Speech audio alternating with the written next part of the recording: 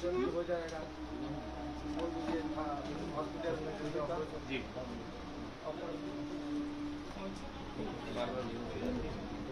मासिमा उठो उठो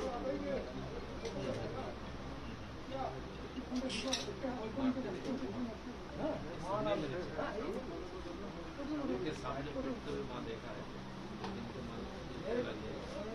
क्या बोलते हैं আমি বিজয়ী করে করব না আমাকে ছেড়ে দাও না।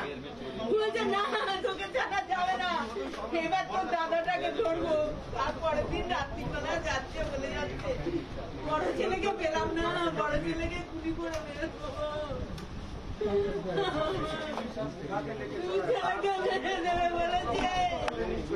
এখানে মিটিং করেছিল মিটিংয়ের মধ্যে পরের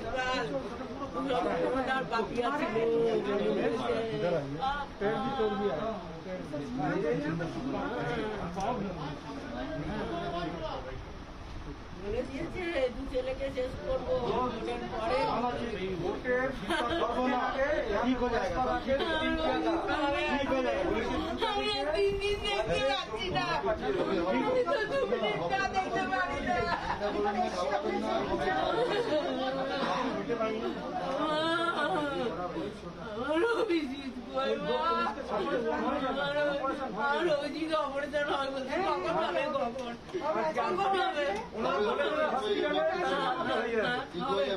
বাড়িতে তো মনে আছে তখন তো সেই জানলা টানলাগুলো ভেঙে ছিল এখন তো এবার আমার ছেলেটাকে ভেঙে দিয়েছে আমার ছেলে আমার ছেলে কই আমার ছোট ছেলে আমার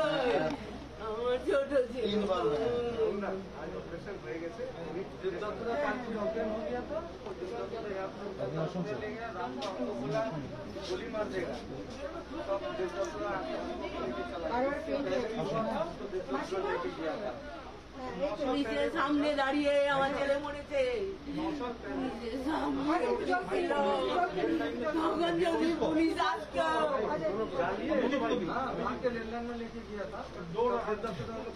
পুলিশ ক্যামেরা দিয়ে আমাকে মারছে আর ওকে একসঙ্গে।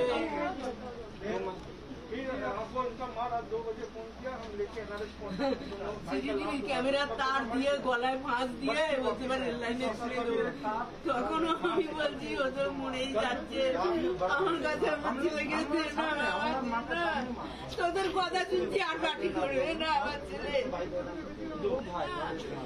উঠ দিয়ে মেরে মুখ ঢেকে তেতো করে দিল দিয়ে দিল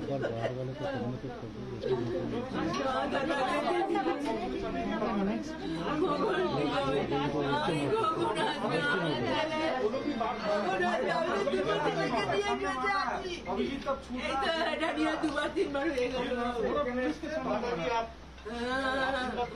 এইটা নিয়ে দুবার হয়ে গেল দু তিনবার আপনি শান্ত থাকুন হ্যাঁ? মায়ের কাছে সন্তান না থাকলে আমরা কেউ কোথাও যাই না তিন মা একসঙ্গে থাকি কেউ কোনো আত্মীয় স্বজনের বাড়িতে যাই না। যাতে আমরা যদি সকালে যাই রাত্রিবেলা যত রাত্রি আমাদের অল ইন্ডিয়া প্রেসিডেন্ট হ্যাঁ উনি এসছেন ছুটে আপনি ভাবুন এত কিন্তু হামলা হয়েছে আমরা এসছি এখন স্বয়ং নাড্ডাজি এখানে এসছে।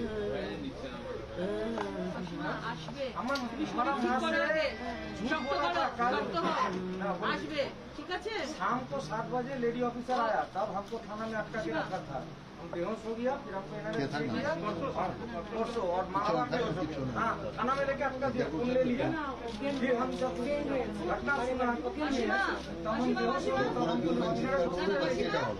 मालवा पास आए बोला कि होगा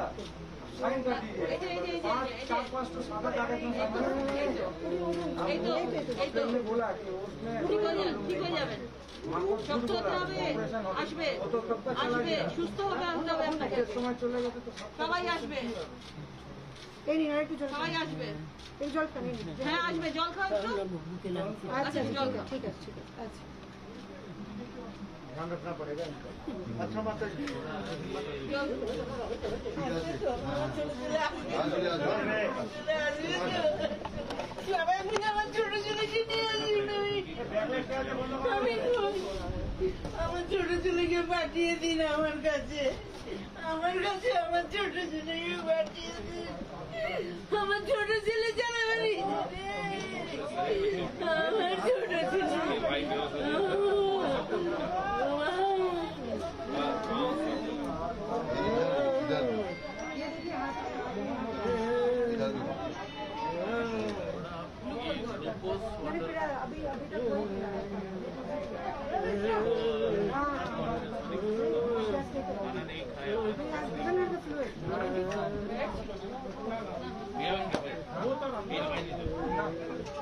चिंता नहीं माता जी।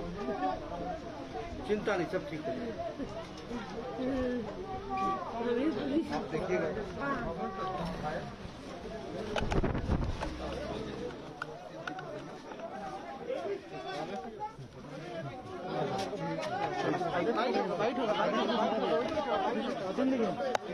नहीं रहने दूँगा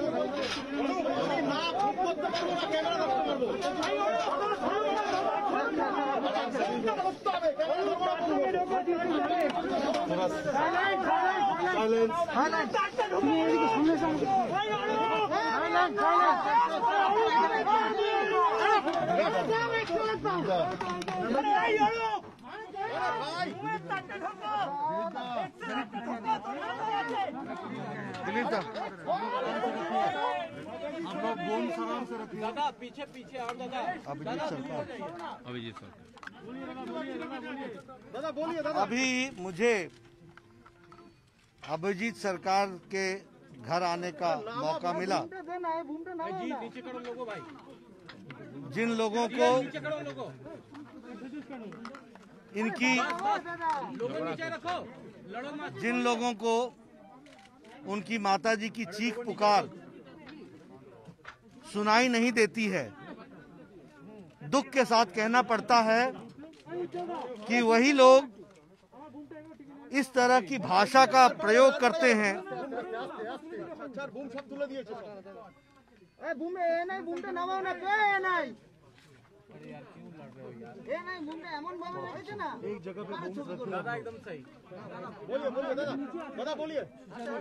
आप लोग जरा चुप होंगे तभी बोलेंगे।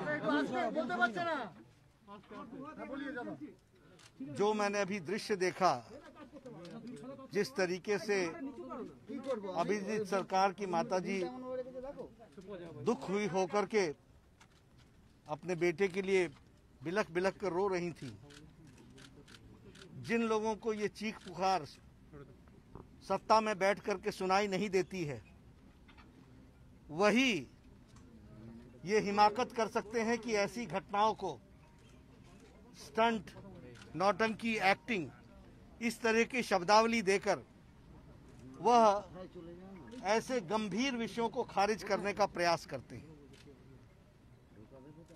बंगाल में सत्ता पर बैठने के लिए ये रक्त रंजित राजनीति इसे भारतीय जनता पार्टी कभी भी बर्दाश्त नहीं करेगी। प्रजातांत्रिक तरीके से सबका साथ, सबका विकास, सबका विश्वास इस मंत्र को लेकर हम आगे बढ़ रहे हैं। लेकिन जो बंगाल की जनता पर राजनीतिक उत्पीड़न हो रहा है, उसे कभी भी भारतीय जनता पार्टी बर्दाश्त नहीं करेगी। और दुख के साथ मुझे कहना पड़ता है, आपके कैमरे ने भी अभी अभिजीत सरकार की माँ की चीख पुकार देखी है, उसको कैप्चर किया है। फिर मैं यही कहूँगा कि बंगाल की सत्ता पर बैठकर रक्त रंजित राजनीति करके। इस तरीके से बंगाल को बदनाम करना ये बंगाल की संस्कृति नहीं है।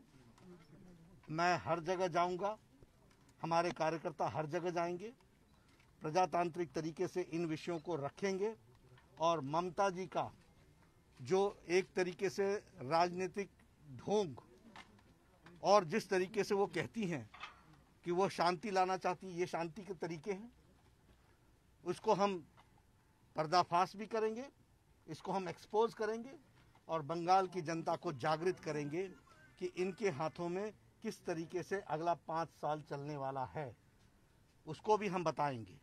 और अपने कार्यकर्ताओं को मैं कहना चाहता हूँ कि करोड़ों भारतीय जनता पार्टी के कार्यकर्ता एकजुट होकर के यहाँ के कार्यकर्ताओं के साथ खड़े हैं, न्याय दिलाएँगे, लड़ाई लड़ेंगे, प्रजातांत्रिक तरीके से, और यहाँ पर फिर से सोनार बंगाल को स्थापित करने में हमारा कार्यकर्ता कोई कसर नहीं छोड़ेगा। बंगाल की संस्कृति जिसके हम धर, उसको संभाल करके चलने वाले लोग हैं हम इसको आगे बढ़ाएँगे और बंगाल की संस्कृति को रखेंगे। मैंने पहले भी कहा था Mamata ji does not represent Bengali culture Mamata ji असहिष्णुता की प्रतिरूप है। इनटॉलरेंस दाय नेम इज़ ममता जी। और ये घटना आज की नहीं चल रही है बहुत पहले से चल रही है। तो ये सारी चीज़ों को हम बंगाल की जनता के सामने रखेंगे और न्यायपूर्ण तरीके से न्याय दिलाएँगे एक एक कार्यकर्ता को। दिलीप दिलीप दा, दा, दा, दा,